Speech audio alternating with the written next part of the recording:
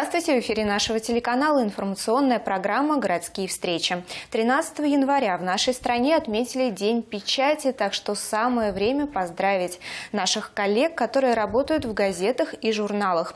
Ну а сегодня у нас в гостях журналист с 30-летним стажем Вячеслав Астафьев, которого многие, в том числе и я, считаю своим учителем. Здравствуйте. Ни для кого не секрет, что журналистика, особенно региональная, ну так считается, что она имеет женское лицо. Да? Мужчин вообще в нашей профессии, к сожалению, очень немного.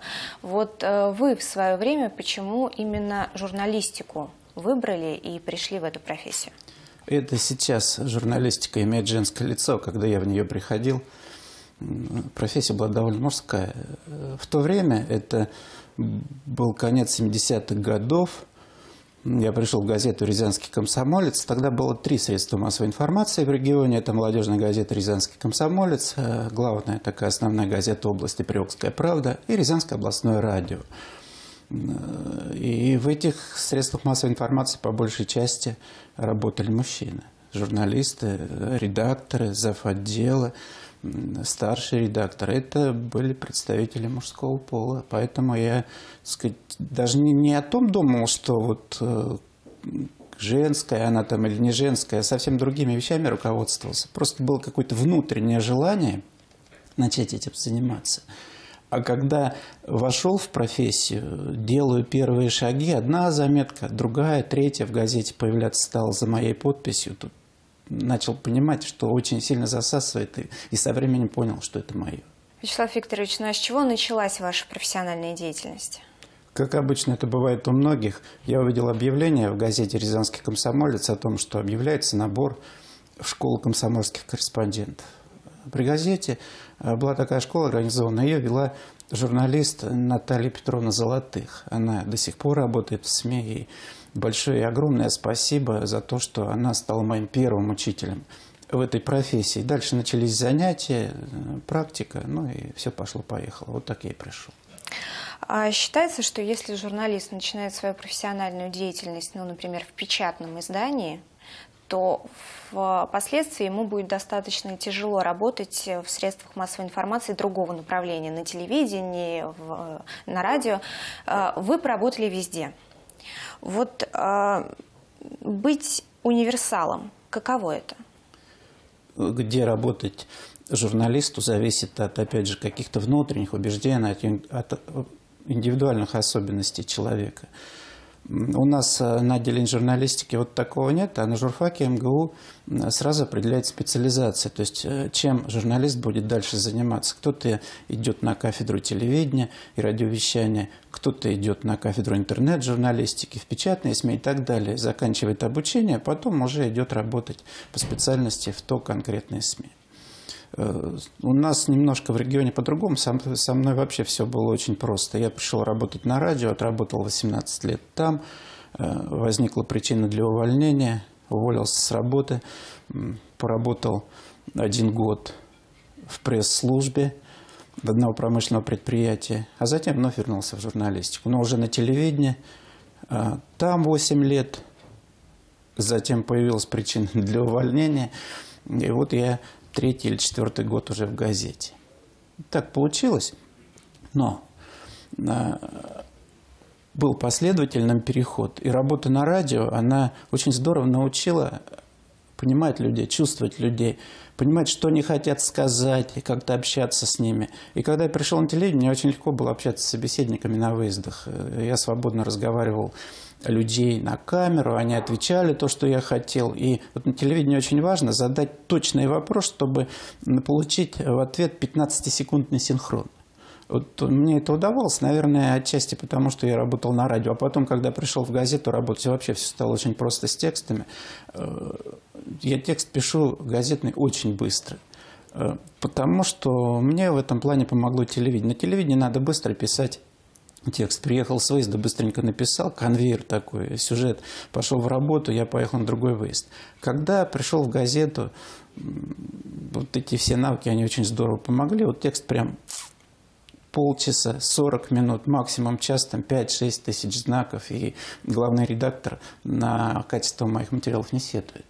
Но ведь э, тексты телевизионных сюжетов и тексты в газетах, они очень отличаются и Разные, по структуре, да. и по особенностям каким-то, да, то есть текст телевизионный, он жестко структурирован, это повествование в закадре, синхрон, повествование во втором закадре, синхрон, и третий закадр, вот концовка сюжета.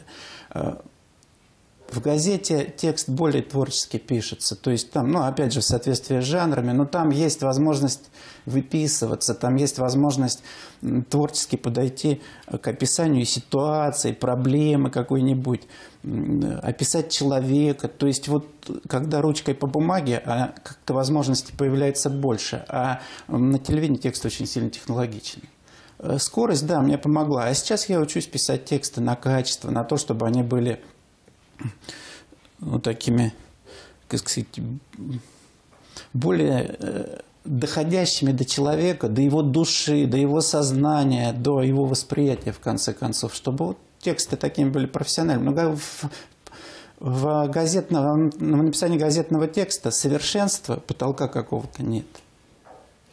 А что по поводу тем? Я понимаю, что чаще всего журналисты не выбирают, на какую тему ему работать. И тем не менее, душа к чему-то определенному лежит.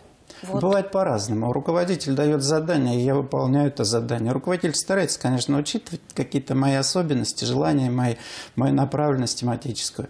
Но иногда бывает и, и все совсем то, что нужно редакции, я делаю. Но и остается мне такая возможность работать в своих темах, которые мне больше нравятся, к которым я тяготею. Вот у меня это, например, все, что касается патриотизма, войны, людей в погонах. Сейчас мы закручиваем автомобильную тему в газете, э, поскольку я сам автомобилист со стажем с 86 -го года. Мне это все интересно, я общаюсь там с людьми в салонах, в сервисах, и как-то все само собой назрело и вылилось на газетную полосу. Я могу пойти по улице и сам увидеть тему, сесть, разработать ее. Вот, кстати, в чем отличие работы журналиста на телевидении от работы в газете. Если на телевидении я привязан к съемочной группе, к распорядку какому-то, если я не получу добро на выезд с этой съемочной группы, я работать не могу. А в газете, пожалуйста, я могу работать в любое время, идя по городу, там, увидев какую-то тему, пришел, сел, написал, сам тему выберу, созвонюсь, встречусь с человеком.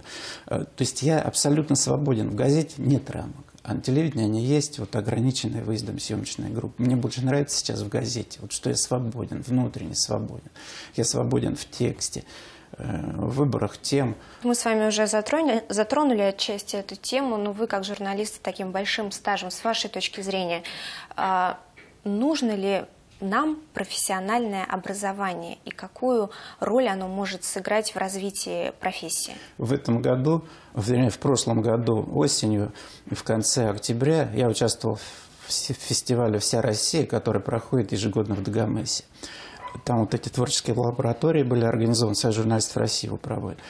И на этих лабораториях шел разговор о том, каким сегодня должно быть профессиональное образование. Кто-то говорил о том, что обязательно нужно окончить журфак, кто-то говорил, что это вовсе не обязательно, и для этого есть другие возможности.